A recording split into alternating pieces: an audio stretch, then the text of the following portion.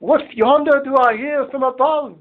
Tis the sound of thought. What flounder do I hear from above? We're not flounders. We're not flounders. You falters? away. Are you falters or We're flounders? flounders. Are you falters?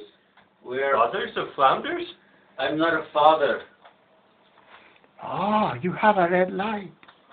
The sacred mouse. You are the father with a red light. The sacred mouse of Antioch. meow, meow. You, I learned to meditate when I was nine. who cares?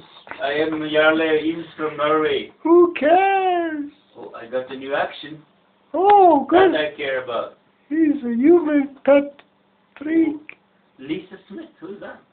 Lisa Smith petted him probably. I'll He's check out her profile. so excited. It was very, very lame. Very, very lame.